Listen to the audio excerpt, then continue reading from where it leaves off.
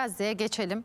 E, Ve Mete Bey'i de birazdan ayağa davet edeceğim. Çünkü şimdi bu tarafta bakıyoruz hem Amerika Birleşik Devletleri'nden hem Avrupa'dan her yerden endişeli sesler yükseliyor. Ama İsrail Başbakanı Netanyahu'nun umurunda değil. O tabii kendi siyasi kariyerini düşünüyor muhtemelen. Devam ediyor saldırılarına. Refah'a saldırmaya başladılar. E başından beri Refah zaten bu insanlara sığının dediğiniz yer değil miydi? 1,4 milyon Gazze'li. Şimdi ne olacak? Bir taraftan tabii işte Sina'ya sürme istekleri başından beri vardı. Bir taraftan da şimdi yeni bir bölgeden de bahsediliyor. Olup bitenleri son durumu bize anlatır mısınız Mete Bey? Ve ayakta mı atmam istersin? E şimdi haritayı yollayacak arkadaşlarım. Ben önce Mısır'dan başlayayım onunla beraber. Olur tabii Daha ki. doğrusu Mısır değil de genel olarak baktığınızda. Tabii biz hep fotoğrafın kendi karemizden bakarak değerlendiriyoruz. Bir de öbür taraftan bakmanızı tavsiye ederim. 2011'de Sisi'nin geldiği konjonktür hangi konjonktürdü? Arap Baharı konjonktürüydü. Evet. Hatırlar mısınız? Devletlerin teker teker yıkıldığı, Amerika Birleşik Devletleri tarafından kontrol edildiği ve onun hegemonyası üzerine inşa edilen bir döneme döneme gidiyordu. Yani biz Mısır'a ara koyduk, mesafe koyduk. Mısır bizimle çok samimi olmak istiyor diye bir kavram yoktu. Biz Birleşik Arap Emirlikleri'ne mesafe koyduk. Birleşik Araplar bize çok iyi olmak istiyor diye bir şey yok. O dönemin konjüktürü Türkiye karşıtlığı üzerine kurgulanmıştı. Bakın bir kez daha söyleyeyim. O dönemin konjüktürü Türkiye karşıtlığı ve Türkiye'yi yalnızlaştırmak üzerine kurgulanmıştı.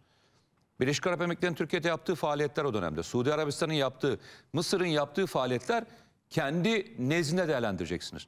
Türkiye belli konularda askeri anlamda da karşı karşıya geldiğimiz. Biz e, Libya'da Hafter'in karşısındaydık. Ulusal Mutabakat Hükümeti'nin yanındaydık. E, Hafter'in arkasında kim vardı? Mısır vardı. Birleşik Arap Emirlikler kimin arkasındaydı? Hafter'in arkasındaydı. Biz Katar'ı tuttuğumuzda e, Katar'ın karşısında kim vardı? Birleşik Arap Emirlikleri, Suudi Arabistan ve Mısır vardı. Bunlar vardı. Şöyle söyleyeyim. Sorun şu mu? Biz mi boyun eğdik? Yoksa biz bu dönemde almak istedikleri her yerde direnç göstererek beraber ortak bir noktaya doğru gidebileceğiz, politika üretebilmeye mi başardık? Bence ikincisi. Farkında mısınız? Amerika Birleşik Devletleri coğrafyada güç kaybediyor. Bu güç kaybettiği yerde yerel unsurlar bölge liderleriyle beraber çalışmak isterler. Bakın yalnızca bunu ekonomik olarak bakmayın. Askeri olarak da bakmayın, güvenlik olarak da bakın. Suudi Arabistan durduk yere 3.2 milyar dolarlık bize şey verdi öyle mi? Siyah siparişi verdi. Yani dünyada siyah alınacak hiçbir ülke yok. Yani e, Çin'de de yok. Çin de satmıyor zaten. Çin hiç kimseye vermiyor. Öyle mi?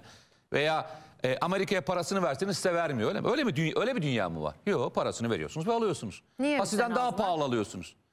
Efendim? Niye bizden aldılar? Sizde niye alıyorlar? Çünkü askeri işbirlikleri ülkelerin birbiriyle güven konusunda güven tazelemenin en yüksek noktasıdır. Siz bir ülkeden silah ve ekipman almaya başladığınızda diyorsunuz ki en az 5 sene seninle hiçbir şekilde bir şey yapmayacağım, sorun yaşamayacağım. Çünkü düşünsenize onun şeyini nereden alacaksınız? Biz siyahı sattık. Bunun yedek parçası nereden gidecek? Yine Bunun bizden. üzerine atılacak mühimmatlar nereden gidecek? Tabii, hepsi Siz de bizden. gidecek. Siz diyorsunuz ki kardeşim ben yakın dönemde Türkiye ile sorun yaşamayacağım. Bakın bunun üzerine inşa edersiniz. Bizim tarafımızdan baktığınızda o dönemin itiraz ettiğim bir tarafı vardı. Bunu geçmişte de söylediğim için söylüyorum. Elçiliğin kapatılması ve bütün diplomatik ilişkin kesilmiş olması bence Türkiye için bir kayıptı. Mesafe koyabilirsiniz. Yani bir darbe yapılmış, bir lider devrilmiş, hatta idam idam edilmek üzere mahkemeye çıkartılmış ve mahkeme salonunda ölmüş. Şüpheli bir ölüm. Yani siz buna şey diyebilirsiniz arkadaş. Bundan hoşlanmayabiliriz. Ben de hoşlanmadım. Hala hoşlanmıyorum. Yani tamam mı? Yani siz de hoşlanmayabilirsiniz. Biz de hoşlanmayabiliriz. Ama devlet ilişkini kesmemeliydi. Mesafesini koymalıydı. Biz Amerika Birleşik Devletleri bize karşı onlarca e, hareketin içinde PKK diyoruz. FETÖ diyoruz. 15 Temmuz darbesi diyoruz. Bir sürü şey sayıyoruz. Ama hala büyükelçimizi kapatmıyoruz. Niye? E çünkü öyle bir ülke. Mısır da öyle bir ülkeydi. Kapatmamalıydık. Mesafe koymalıydık. O mesafe koyulmalıydı. Bak bir kez daha söylüyorum. Mesafe koyulmasından taraftarım. Ama kapanmamalıydı. İlişki zirve yapmamalıydı. Yani kopartmamalıydık. Birçok şeyi kopartmamalıydık. Şimdi gelelim bugün gittiğimiz geldiğimiz nokta neresine? Mısır niye bizle yakınlaşıyor? Niye yakınlaşıyor? Birazdan anlatacağız. Oraya bir dipnot düşeyim. Arkadaşlar artık 3. Dünya Savaşı yaşanıyor. Artık herkes adını koymaya başladı. Biz söylerken çok umursamamış olabilirsiniz. Yani bir güvenlik politikaları uzmanı, ya binbaşı, emekli binbaşı veya işte ne diyeyim e, müstafi bir binbaşı siz diyebilirsiniz ki adam söyledi bitti. Bizim söylediklerimiz aslında raporlara dayanıyordu. Yoksa öngörülerimiz kendi içimizden gelenleri söylemedik. Her birinin bir maddesi vardı. Artık 3. Dünya Savaşı çıkıyor. Çıkıyor ötesine çıktı. Peki nereye geldik? Bölgesel ülkeler birbiriyle savaşmamak üzerine ve beraber bir konu üretebilmek adına işbirliği yapmak zorundalar. Bu coğrafyaya bakacağız. Bu coğrafyaya baktığınızda sorun çözecek ülke kim? Türkiye. Türkiye. Orta Doğu'da sorun çözecek ülke hangisi? Türkiye değil mi? İkinci ülkeyi kim sayarsınız? Mısır'ı sayarsınız. Mısır başlar. Peki şu anda bölgenin en büyük sorunu ne? Gazze.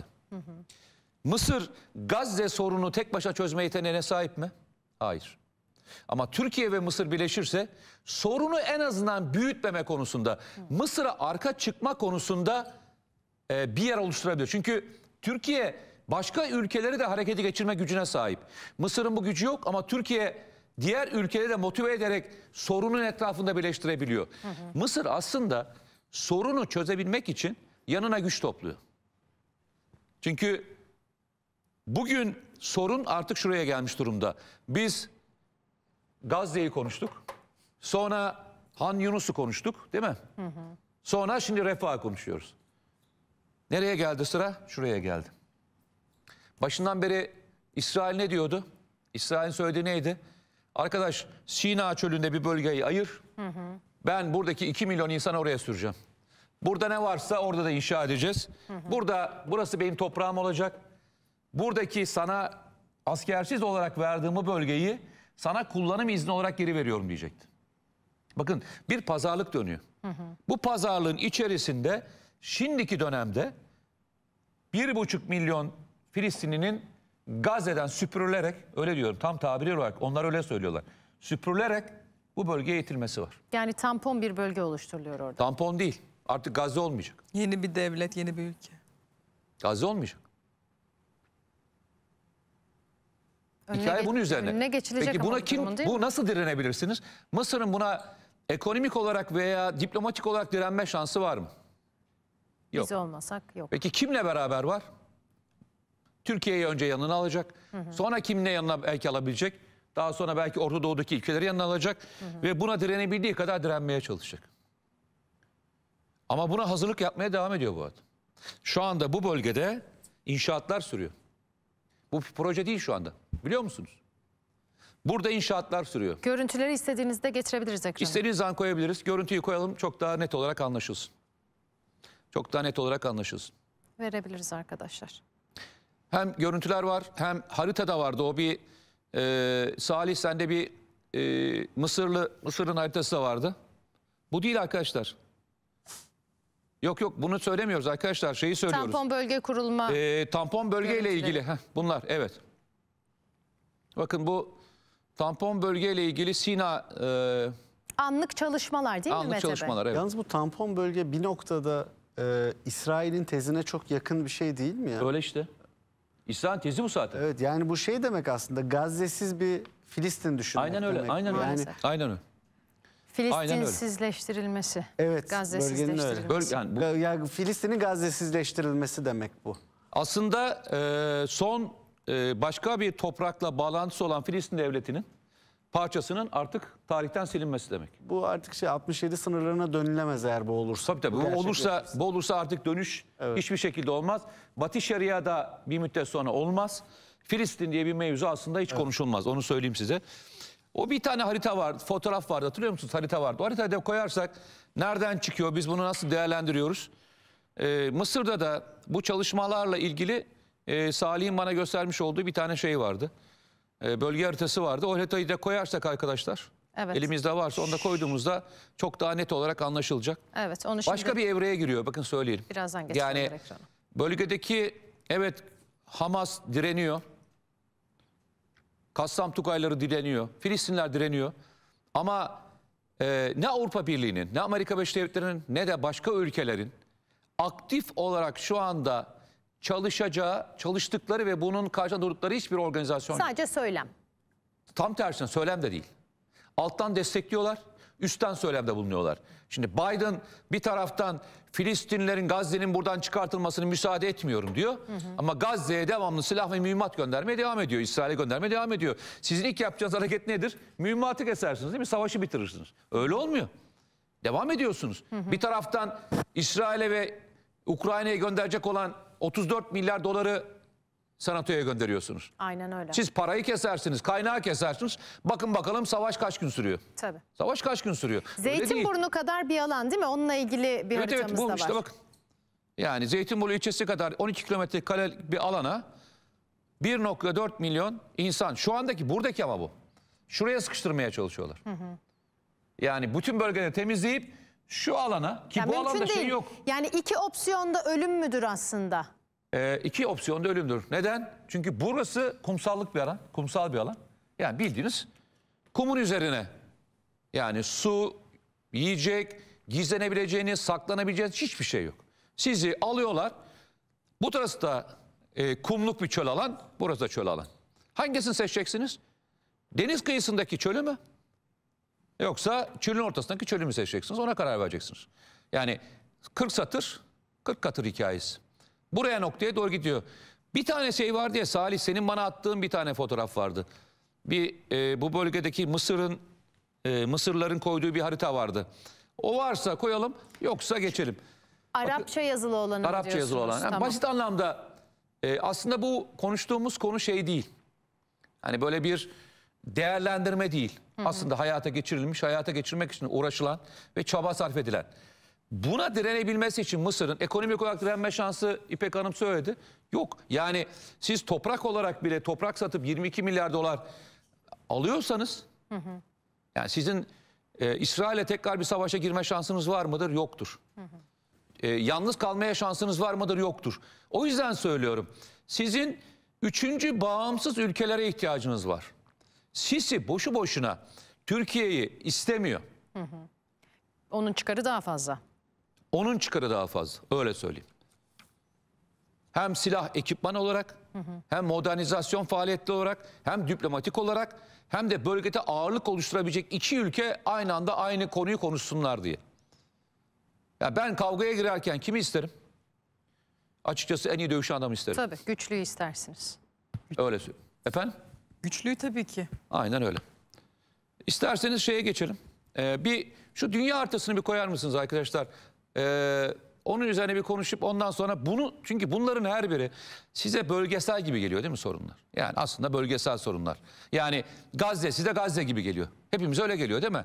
Veya ne diyeyim Azerbaycan'ın e, sorunu bölgesel gibi. Hiçbiri bölgesel değil. Hiçbiri bölgesel değil. Şimdi bakın bunu ben özellikle rica ettim arkadaşlar sağ olsunlar. Evet bir taraftan Trump, bir taraftan Putin, bir taraftan hatta e, Haydar Aliyev, pardon İlhan Aliyev e, Seçim yemin zaferi. töreninde artık 3. Dünya Savaşı çıktığının en son söylemini yapan lider pozisyonunda. İşte Hulusi Akar geçen gün verdiği bir röportajda dedi. artık 3. Dünya Savaşı başladı arkadaşlar. Hani şeyi tartışmayalım dedi. Hani 3. Dünya Savaşı çıkar mı çıkmaz mı hikayesini konuşmaya gerek yok dedi. Doğru. Bir taraftan Birleşmiş Milletler Genel Sekreteri ki barışı korumakla ilgili yükümlülüğü olan Evet. Kurulma amacı dünyada bir daha savaş çıkmaması üzerine kurulmuş olan teşkilatın başkanı dedi ki arkadaşlar dünya kaosun içinde. Evet. Ya işte yani teker teker gidelim isterseniz. İşte İlham Aliyev'in en son söylediği dünya için dünya savaşı çok yakındır. Bu savaşın artık başladığı düşünülüyor. Türk dünyası bizim ailemizdir. Türk Devletleri Teşkilatı'nın küresel alanda güç merkezi haline gelmesi için çaba sarf etmeliyiz. Bu işte Genel Genel Sekreterin Sekreteri. söyledi. Dünyamız kaos dönemine girmiş bulunmakta. Tehlikeli ve öngörülemez bir düşüş ve cezasızlık hakim geliyor. Zaten İkinci Dünya Savaşı sırasında bu değil miydi? Mevzu bu değil miydi? Aynen buydu. Aynen. Almanya istediğini yapıyordu ve kimse ceza kesemiyordu ona. Bakın Kuzey Kore liderinden tutun da işte Hulusi Akar'ına kadar, e, işte Trump'ından CIA'nin başkanına kadar. Herkesin hem fikir olduğu bir konu var. Üçüncü Dünya Savaşı yaşanıyor. Bunun konvansiyonel savaşa dönüşme, bayrak gösterme dönemine nasıl geçeceği konuşuluyor. Yoksa herkes birbiriyle savaşıyor onu söyleyeyim size. Yani bir kaldırabiliriz arkadaşlar. Şunu bir kaldıralım. Ukrayna'da baktığınızda Ukrayna'da yalnızca Ukrayna ve Rusya mı savaşıyor? Yok. Ukrayna'da Amerika Devletleri savaşıyor. Avrupa İngiltere savaşıyor. savaşıyor. Avrupa Birliği savaşıyor. Yani burada bir gördüğünüz aslında bir dünya savaşı var. Doğru. Bakın söylüyorum. Bir dünya savaşı Ukrayna sahasında yaşanıyor.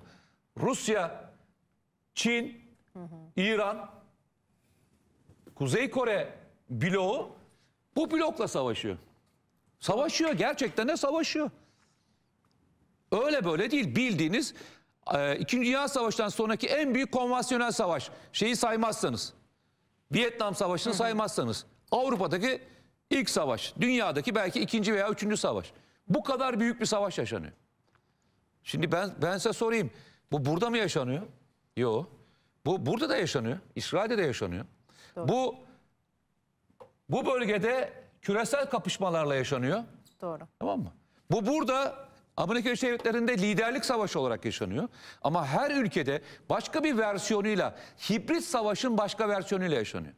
O yüzden herkes 2025 yılı dünya için zorun ötesinde geçecek diye söylüyor. Bak zorun ötesinde. Ötesinde. Anlatmaya çalıştığımız hikaye de o. Bugün konuştuğumuz konular da böyle. Türkiye de bunu böyle gördüğü için 2024 savunma bütçesini yüzde 250 arttırdı. Sebebi buydu. Yoksa Türkiye'nin birinci önceliği deprem arkadaşlar. Tabii. Birinci öncelik deprem gibi konu varken savunma sanayine ay- ayırıyorsanız bu parayı bilin ki tehdit muhtemel muhtemelelden yani muhtemel olmaktan kesine doğru gidiyordur. Nereden anlıyorsunuz? Ve bir aciliyet söz konusudur. Aciliyet sonusudur. Nereden anlıyorsunuz? Sayın Hakan Fidan'ın bölgesel girdaplardan bahsetmesiyle anlıyorsunuz. Evet. Şimdi bölgesel girdaplara baktığınızda Suriye bir girdap, Tabii. Irak bir girdap, İran bir girdap, e, Ukrayna bir girdap, Rusya bir girdap. Etrafımızda tam tamına dört tane büyük girdap var. Evet çok Buna- klişe ama ateş Efendim? çok klişe ama ateş çemberinin ortası gerçekten Türkiye. Ama yalnızca bizim girdaplarımız bize ait değil. Bunun başka versiyonu Avrupa Birliği'nde ekonomik olarak girdaplar oluştu. Göçmenlerle ilgili girdaplar oluşmaya başladı. Çıkar çatışmalar oluşmaya başladı. Kendi girdapları farklı ama bu girdapların olmadığı anlamına gelmiyor. Herkesin kendi girdabı çok kuvvetli geliyor. Bakın İngiltere iki, iki dönemdir resesyonda. Evet. Japonya. Japonya üçüncülüğü Almanya'ya bırakarak Almanya'ya, aşağı evet. çekildi. Kaç dönemdir resesyonda. Bütün liderlikler, bütün e, olgular değişmeye başladı. Bir liderlik savaşının yani dünyaya kim önümüzdeki dönemde hükmedecek, liderlik edecek tartışmasının değişiminin tam ortasındayız. Böyle bir döneme denk geldik. Talihsizlik mi dersiniz? Ama maalesef bu dönem, bu coğrafyada bu dönemde yaşanacak. Evet. Yani CIA Başkanı diyor ya 40 yıldan beri Orta Doğu'yu hiç bu kadar patlamaya hazır değildim. Ben o zaman sorayım. Bir yerde patlamaya hazır bir coğrafya varsa bu coğrafyada Amerika Birleşik Devletleri'nin ise yardıma geleceğini mi düşünürsünüz? Yoksa bu coğrafyanın en önemli büyük askeri gücününle beraber ortak hareket etmek mi istersiniz? Tabii ki Türkiye ile birlikte hareket etmek. Türkiye ile hareket etmek istersiniz. Bugünkü gelişimleri, bugünkü dönüşümleri bizim dönüşümümüz olarak mı okuyalım? Hayır. Yoksa herkesin birbirine ihtiyacı duyduğu yakın tehlikenin dönemindeki birleşmeler olarak mı okuyalım? Biz nedense şöyle okuyoruz. Biz Türkiye olarak Mısır'a gittik olarak okuyoruz. Niye Mısır'ın Türkiye'ye geldiğini düşünmüyorsunuz? Veya bırakın iki tarafın birbirine geldiğini için niye düşünmüyorsunuz? Çok daha yüzeysel bakılıyor aslında. Siz büyük fotoğrafı anlattığınızda Yok öyle. bakın müttefiklik ilişkileri e, yalnızca istekli olmaz. Yani siz şu lafı kullanamazsınız. E, biz Amerika Birleşik Devletleri'nin müttefiyiz lafını kullanamazsınız. Ne zaman biliyor musunuz? Büyük, büyük askeri ve ekonomik olarak büyük olan sizi gerçekten müttefik olarak gördüğünde müttefik olursunuz. Şimdi gelelim şeye. Şu Jeffrey'nin bir açıklamalarını koyar mısınız? Ha, evet. Amerika Birleşik Devletleri'nin. Bundan yaklaşık bir sene önce dünyanın en e, böyle ne diyeyim bize ters davranan ülkesi niye böyle konuşmaya başladı?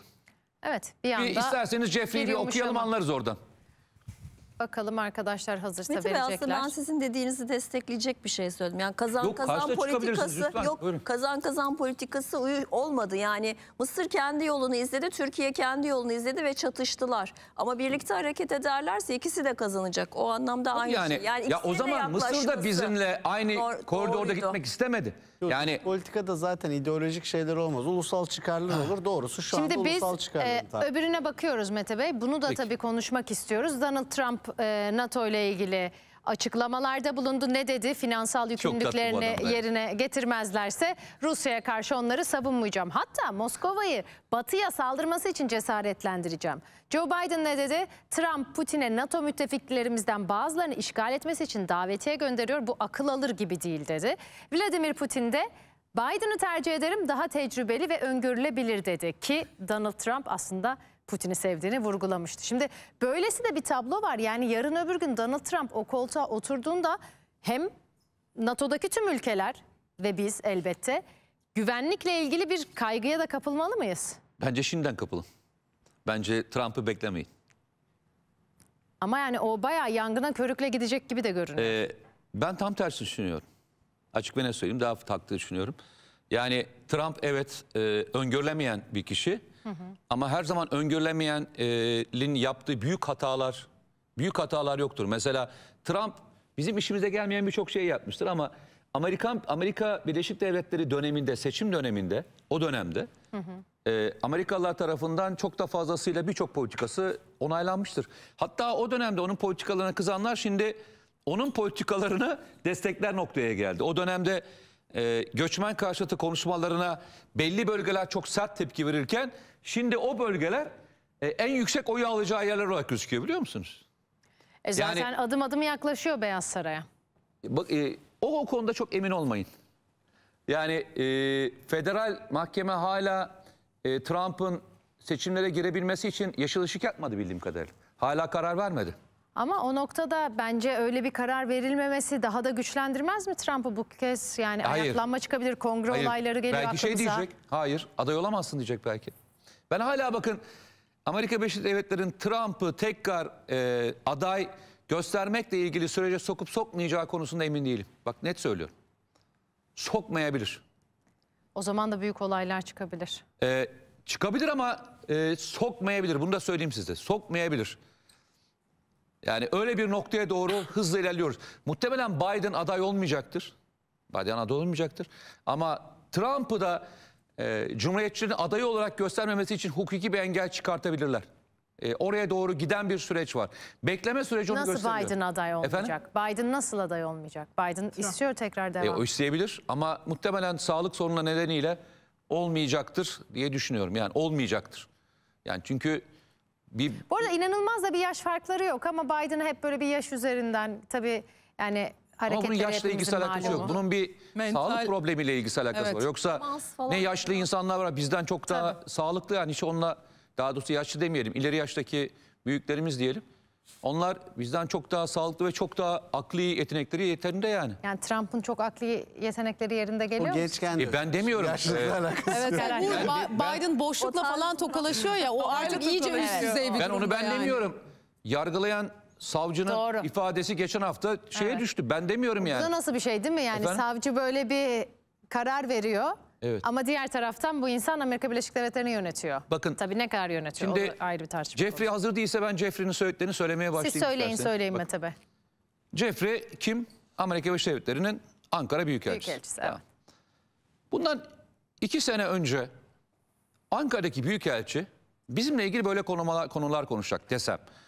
Deseydi derdiniz ki ya Amerika bize çok mesafeli. Zaten hani e, Sayın Erdoğan hükümetini çok da desteklemiyor. Çok da fazla mesafeli diye konuşur değil mi? Va- Vallahi bakarsanız sanki biz 20 yıldır beri hiçbir sorun yaşamamış. iki kan kardeş gibi konuşuyor şey Jeffrey. Evet. Diyor ki biz bizim çok önem verdiğimiz bir ülkedir. Onsuz bir şey düşünemeyiz. Hatta biraz daha öteye götürüyor. Bizim ona verdiğimiz e, önem NATO'dan daha fazladır. Bak. Yani NATO'dan daha fazla önem veriyorlarmış bize. NATO'dan İddialı, daha fazla önem evet. veriyorlar. Yani şey diyor NATO bir tarafa Türkiye bir tarafa noktasına getiriyor. Beraber her türlü askeri işbirliğini yapacağız. Hatta şu andaki mühimmat sıkıntımızı Türkiye'den aldığımız ekipmanlarla Amerika Birleşik Devletleri'ne üretip biz kendi mühimmat sorunumuzu da halledeceğiz. Bazı özel teknolojileri beraber yapmayı düşünüyoruz. Şimdi adama sorarlar değil mi arkadaş biz seninle yaklaşık bir sene önce bize her türlü konuda res çeken siz değil miydiniz dersiniz değil mi? Ha o zaman şöyle söyleyelim. Ne oldu da ne oldu da Amerika Birleşik Devletleri Türkiye'yi kendisinin en önemli müttefiki olmaya karar verdi. O zaman şimdi gelin şu dünya haritasına kadar değerli olduğunu anlayalım.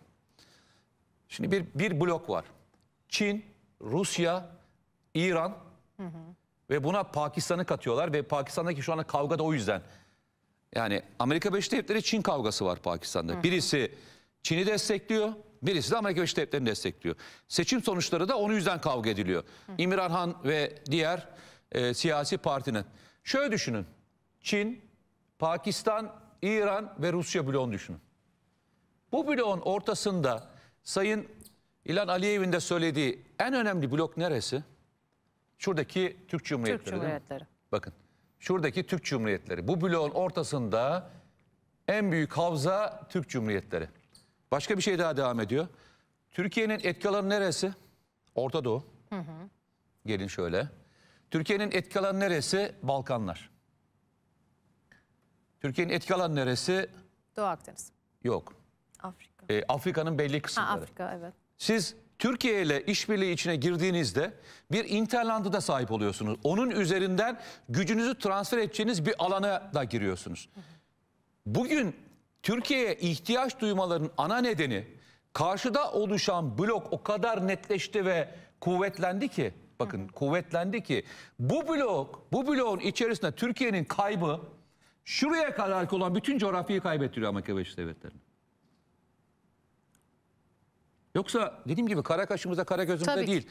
Türkiye kendi değerini kendi yol haritasıyla koyduğunda karşı taraf vazgeçilmez olarak size gelmek zorunda. Siz birine gidip ben sizin müttefiğin demenize diyemezsiniz. Onun size ihtiyaç duyması gerekir diyordum. İşte şimdi o dönem o dönem. Bugün Türkiye'nin istene, istenmesinin sebebi yalnızca Türkiye olmasından kaynaklanmıyor. İlhan Aliyev'in söylediği gibi Türk coğrafyası bir aile. Bu aile buradaki bütün olguları değiştirecek kadar kuvvetli bir dayanışmayı gösteriyor şu anda kendisiyle ilgili. Siz böyle bir ülkeyle çalışmak mı istersiniz yoksa bu ülkeyle kafa kafaya e, karşı karşıya mı gelmek istersiniz? PKK'ya desteklerini kesecekler mi peki? Şimdi devam, hepsine geleceğim, hepsine geleceğim, hepsine geleceğim. Bakın PKK konusu ve diğer konuların tamamı bizim yapmamız gereken ev ödevleri ve diğerleri diye devam etmeyi tercih ederim. Biz kendi ev ödevlerimizi bir yapalım. İşte Türkiye'deki siyasetin içerisindeki önce e, PKK uzantılarını temizleyelim. Arkasından da hukuk içine temizleyelim anlamında söylüyorum. Evet. Çünkü her şeyi birbirinin içine soktukları için Türkiye'de. Başka konulara geldiğinde çözeriz. Bakın şu anda çözüme en yakın konulardan bir tanesi neresi? Irak. Evet. Türkiye, Irak Projesi.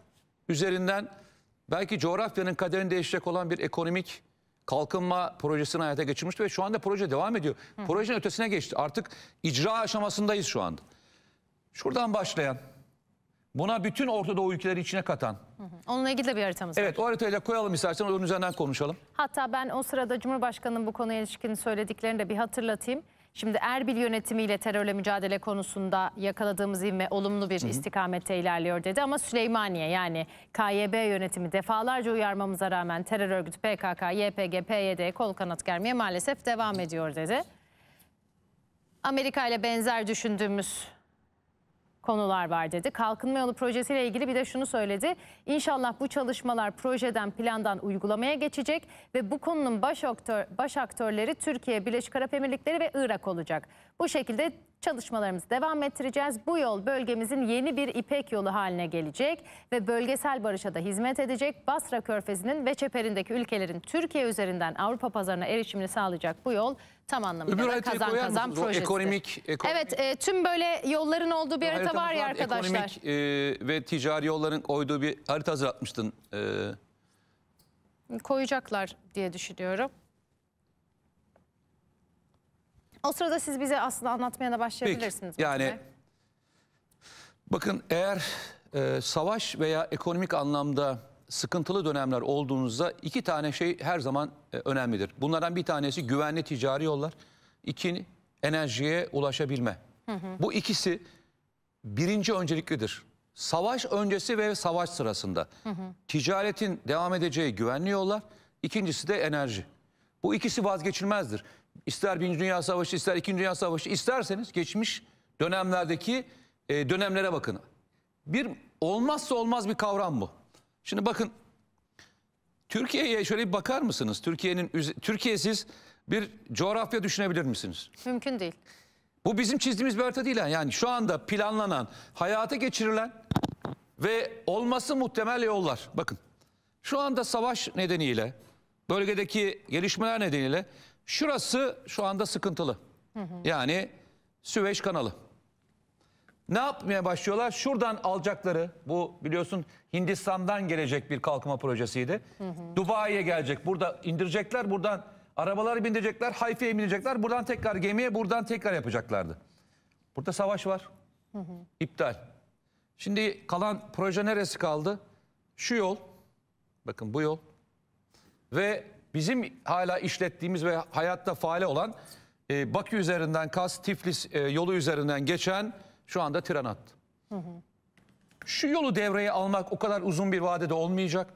Bu bize önümüzdeki dönemde isterseniz Zengezur koridoru, isterseniz tarihi İpek yolu, isterseniz Bağdat'tan geçecek olan, Bağdat'tan geçecek olan yeni kalkınma projesi. Bu üçü kendi coğrafyasında hem Türk Cumhuriyetlerini hem de Orta Doğu ülkelerinin Türkiye ile mutlak olarak iyi geçinecekleri bir atmosfer yaratacak. Çünkü demin e, İpek Hanım söyledi. Kazandığınız bütün ortaklıklar en büyük ortaklıklardır. Beraber para kazanıyorsanız ve beraber bir gelir oluşturabiliyorsanız ülkeler birbirine çok çok nadir savaşırlar. Beraber ortak bir havuz oluşturabiliyorsanız. İşte bu coğrafyada iki tane önemli şu anda proje bu. Bir tanesi Bakü üzerinden geçecek olan Zengezur koridoru, ikincisi de buradan geçecek olan koridor. Bu yalnızca şey üzerinden geçecekler. Karayolları ve tren yolları. Ama bir de şey var. Enerji koridorları var. Bugün herhangi bir Allah göstermesin bir savaş çıksa Avrupa'nın da birçok coğrafyanın da enerji ihtiyacını sağlayabileceği tek güvenli nokta neresi biliyor musunuz? Türkiye. Sizce müttefik mi olursunuz, kavgalı mı olursunuz? Müttefik olursunuz tabii ki. Peki ama bu kalkınma yoluyla ilgili Süleymaniye'nin çıkardığı Süleymaniye'nin burada hiçbir problem. Süleymaniye burada yok zaten. Bu olgun içinde Süleymaniye yani yok. KYB engel olmaz mı? E, KYB'nin engel olacağı bir yer diyor. KYB'nin e, hattından geçmiyor. Burası direkt Erbil hattından geçen bir yol. Yani hiç e, şeyle alakası yok. Burada Erbil, e, Bağdat hükümetinin beraber çalışacakları ve çalışmaya başladıkları bir yol. Hep de böyle bizim o Pençe Kilit Harekat bölgesine hedef alıyorlar ya defalarca hedef aldılar. Tabii. İki kere de maalesef şehitler verdik. O bölgeye yine saldırıları sürüyor mu PKK'nın? Ya e, yani çok ilginçtir. E, dün akşam yine bir saldırı girişimi oldu. Ve yine aynı yere. İşin ilginç tarafı. E, şimdi bir terör örgütü aynı noktalara niye defalarca aynı şekilde saldırmaya devam eder? Bunu şey olarak açıklayamazsınız. E, bir terör eyleminin terminolojisi içine bulma şansına sahip değilsiniz. Bunun için başka bir mantığa bakmanız lazım. Türkiye'deki son dönemde yapılan konuşmalara, FETÖ elebaşısının konuşmasına, e, DAEŞ'in saldırılarına, Türkiye'de işte küçük çekmecedeki saldırıya ve diğer atmosferlere bakarak değerlendirmeniz lazım. Türkiye'de bugünlerde terör örgütünün oynadığı öge Türkiye'nin siyasal anlamda sıkıştıracağı bir atmosfer yaratmaya çalışıyor. O yüzden de hepimizin çok tartışacağı eylem türlerini seçmeye başladı. Dün e, fark edildi ve ciddi anlamda bir kayıp verdiler. Ciddi anlamda bir kayıp verdiler. Yani o dün akşam e, terör örgütünün e, bu şekilde saldırısını engelleyen ekibi de gerçekten hani tebrik etmek lazım. Ee, müthiş bir hikayesi var. O hikayede inşallah silahlı kuvvetlerin kendisi anlatır. Bir şey ekleyebilir miyim? Ee, Mete Bey'in söylediklerine ben de e, hepsine katılıyorum. Ee, burada Mısır'la birlikte aynı masaya oturmak çok önemli ama Mısır bir taraftan da Doğu Akdeniz Enerji Forumundaki forumundaki ortaklarına da sırtını dönemeyecek. Yani Yunanistan'ın sırtını dönemeyecek, İsrail'e sırtını dönemeyecek, Kıbrıs'a sırtını Zaten dönemeyecek. dönmesini de istemiyoruz ya. Evet ama tabii aynı masada oturmak ve o ortaklıklarla aslında istediğini de tam olarak gerçekleştiremedi. Çünkü Türkiye'de müdahale etti Libya politikasıyla. İkisi de kazan kazana ulaşamadılar. Bu anlamda masaya oturmaları önemli diye düşünüyorum. Bir katkı Şimdi olarak bakın söyledim. e, coğrafyada bir coğrafyada doğal gaz çıkmış olması veya petrolün bulunmuş olması onun e, o ülke için bir kazanç oluşturmuyor. Örneğini vereyim size. Hiç uzatmadan örneğini vereyim. Bağdat. Irak aslında doğal gaz anlamında çok zengin bir ülke. Ama bunu nakledecek olan boru hatları olmadığı için ne yapacaksınız? Bu ülkede neyle kullanacaksınız? Ya ısınmada kullanırsınız, ya enerji üretimine kullanırsınız ya da satarsınız değil mi? Şu anda yalnızca enerjide kullanabiliyorlar. E zaten sıcak bir ülke. Isıtmada kullanmayacağınıza göre. Geriye kaldı bir tek şey. O da enerjide kullanıyorlar. Hatta e, petrolün yanında doğalgaz çıkıyor. Doğalgazı yakıyorlar. Bildiğiniz havaya doğru çıkarken yanıyor. Normalde yanan bir hat görmezsiniz. E, aynı şey Mısır içine geçerli. Bu hatta bulunan bu hatta bulunan doğalgazı başka bir ülkede ihtiyaç olan ülkelere boru hatları nakletmediğiniz müddetçe para kazanamazsınız. Burada ne yapılıyor? Burada e, sıvılaştırılmış hale getiriliyor. Arkasından tekrar limana getiriliyor. Orada tekrar bir çevrime giriyor. Bu sefer hatta normal doğalgaz gibi verilip pompalanıyor. Şeyin e, enerjisi alınıyor. Burada projenin en e, feasible olan hangisi? Mısır Mısır'la İsrail'in de içinde yer aldığı boru hattıyla Türkiye'ye getirilmesi. Yani e, bu bölgede bulunan doğalgazın hayata geçireceği en doğru proje yine Türkiye projesi. Yani siz masada olabilirsiniz ama gerçekçi olmayan bir şeye hiç kimse dünyanın hiçbir yerine ekonomik olarak bir katkı sunmaz. Parasını da Evet vermez. çünkü yani. iki ülkede sıkıştı. Yani bakın yine söyleyeyim. Allah rızası için gerçekten çok merkezi, çok stratejik, çok da önümüzdeki dönemde yıldız yükselenen bir ülke olacağız. Rica ediyorum. Yani Türkiye'deki her şeyi eleştirelim.